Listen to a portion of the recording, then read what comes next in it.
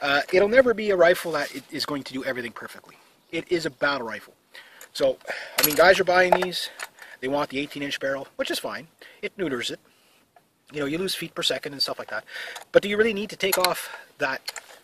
You know, you really need to take off that. I mean, if you did put a, a foregrip on this thing, you know, this plus a foregrip would probably. I mean, look at this. I mean, what do you mean you can't steer that? You know, I'm not even using the strap. I won't even use that. I mean, when I do some of my um, shooting, I'm sorry that I'm swinging around like a madman here, but again, as we see, I just got the, you know, it's it's a it's a safe, it's a cleared rifle, but it's just a you know, a ten and a half pounds, you know, this idea that you can't respond with it. The only thing I'm going to do with this is I'm going to put a scope mount up here, put a red dot on it, and maybe a flashlight under here. That's it. And maybe a bayonet on there. You know,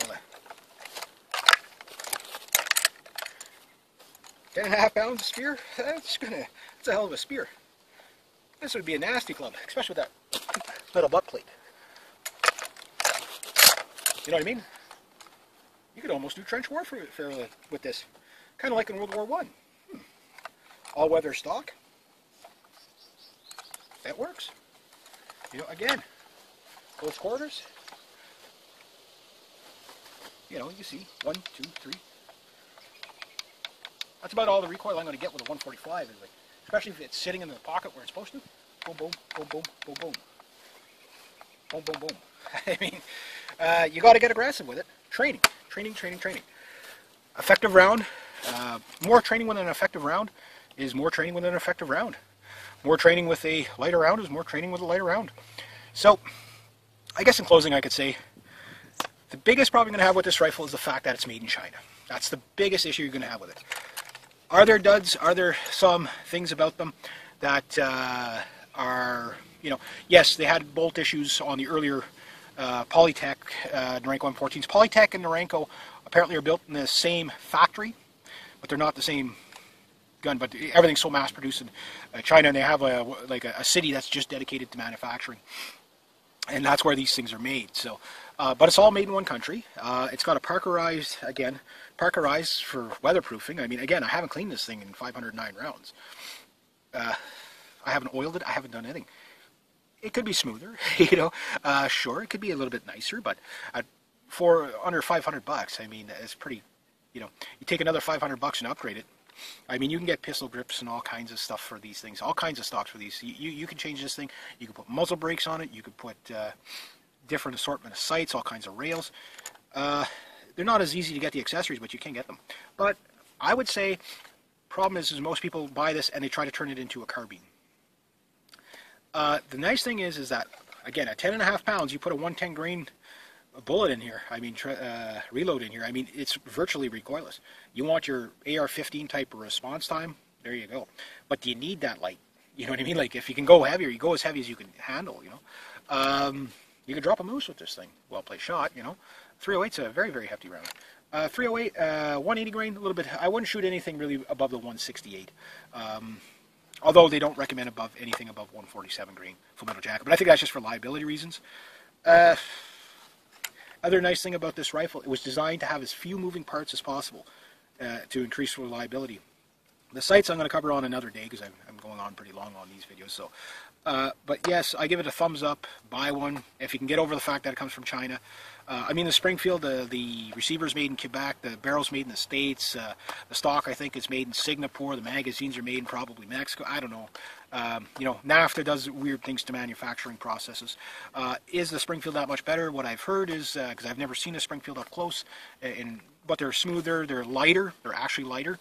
Uh, which lighter is better because then you can actually add stuff to it. That's the problem with these suckers. If you want to take this and turn it into a designated marksman's rifle, you're talking about 14 to 16 pound rifle. I've already weighed it with the scope and the mount and the bipod, and I didn't even have my chin rest. So you can have anywhere from like a 14 pound to 18 pound rifle. That's you know, but you can get a quick detach bipod for it.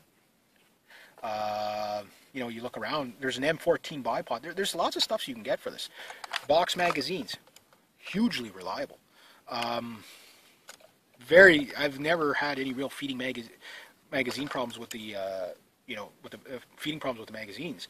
Um, user error, yeah. Again, 509 rounds, uh, four jams and three feed, mal- uh, feed malfunctions.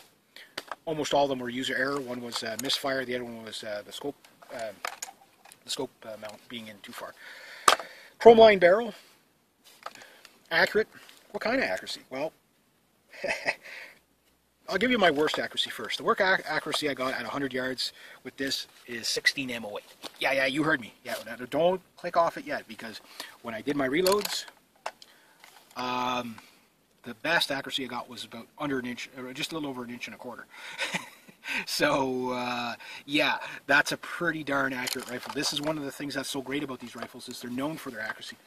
Um, there's almost no other rifle in uh, semi-automatic rifle in 308 that kind of matches it for accuracy. Uh, very few will in this price range. You know I mean? In this price range, especially here in Canada, there's just no 308 semi-automatic rifles this cheap in 308 uh, with all the features that this has. Um, next thing is uh, average. I would say with a 150 grainer, probably about a 3 MOA is probably what I was averaging. Uh, I'll have to, you know, do more paper and stuff like that. Uh, offhand shooting, I'm able myself to hit targets out to about 400 yards. Uh, 16 by 12 uh, is the what I was shooting at. Once I figured out where I was hitting, I was hitting it at that. Now I know a little more about the rifle. Just a quick one on the sights before I go. Uh, when you start, you're probably going to start somewhere around 12 clicks up out of your 72 clicks. And that should put you at about 100 yards, giving a 147 grain uh, uh, 7.62 by 51 full metal jacket. Should give you around that. Uh, plus or minus your rifle mileage might vary, but that's usually where people start, so about 12 clicks. To get out to 300 yards, you go another two clicks. To get out to 500 yards, you go about another six clicks, and you should be roughly. That said, there's only one way to really find out, and you got to go there, and do it. Uh, the windage elevation, again, I probably won't do it today because I'm getting kind of hungry, and I've been out doing the greenhouse and uh, doing all kinds of stuff today. But I wanted to get out while it was sunny out and do the, the full review of this fantastic rifle. Uh, again, if you're Canadian, I know there's a lot of, you know, the CZ858 uh, with the 7.62 by 39 is a lot cheaper to shoot, uh, but you wouldn't regret getting one of these. And the idea that it, it takes a little more getting used to, uh, you know, because it is heavier, sure. But I mean, it's kind of one of those things, once your muscle memory gets used to the bigger rifle, the recoil isn't really that much to tame. Uh, again, you're not going to mad minute with 168 grain, but, you know, you know, uh, the, the way, uh, yes, to close up, the bolt, the ro rotating bolt, uh, it spins back like this. If you see some of my videos, you'll notice it, it does a little bit of a to the right, but not like, say, an SKS, which I find really pulls to the right and pulls high. And with the piston on the bottom, it actually, you get more of a, you know, this is probably one of the quicker rifles to get back onto target with, because the piston being on the bottom helps to keep the muzzle rise down and with the rotating bolt, it helps to put it back into your shoulder. So with the 180 grains, you'll start off and you'll be like this, boom, boom, boom, because it's a lot. Uh, with the 150s, you'll be boom, boom, boom, and with the 110s, you'll be boom, boom, boom. Uh, that's what I got. So anyway, if you have any questions, hopefully I've answered everything. I will do a field uh, strip of this rifle, another video, on another day. But 509 rounds, everything I'm going to do is maybe clean the chamber. I don't even think I'm going to bother cleaning the barrel. I'll clean the gas piston. That's it. Uh, and then I'll shoot out the rest. So I hope you enjoyed that. Uh, it's a great rifle uh, for the money. Um, I enjoyed it. That said, the next round might explode in the chamber. But I remember one guy put a posting that, oh yeah, after 500 rounds, this thing will be shooting, you know, won't be able to hit the broadside of the barn. Uh, 500 and some odd rounds. Well, about an inch and a quarter grouping. Hey, you know, at 100 yards, at 100 yards, uh, yeah, you know, even even if you have a two MA, two MOA or three MOA rifle for 500 bucks. All right. Anyway, I'll leave it at that. I hope these videos upload because uh, I've kind of ran them a little bit too long. Uh, it'll never be a rifle that is going to do everything perfectly. It is a battle rifle. So, I mean, guys are buying these. They want the 18-inch barrel, which is fine. It neuters it. You know, you lose feet per second and stuff like that. But do you really need to take off that? You know, you really need to take off that. I mean, if you did put a, a foregrip on this thing, you know, this plus a foregrip would probably I mean, look at this. I mean, what do you mean you can't steer that? You know, I'm not even using the strap. I won't even use that. I mean, you know, when I do some of my um, shooting, I'm sorry that I'm swinging around like a madman here, but again, as we see, I just got the, you know, it's it's a it's a safe, it's a cleared rifle, but it's just a you know, a ten and a half pounds. You know, this idea that you can't respond with it. The only thing I'm going to do with this is I'm going to put a scope mount up here, put a red dot on it, and maybe a flashlight under here. That's it. And maybe a bayonet on there. You know, the ten and a half pound spear, that's gonna, that's a hell of a spear. This would be a nasty club, especially with that little butt plate. You know what I mean? You could almost do trench warfare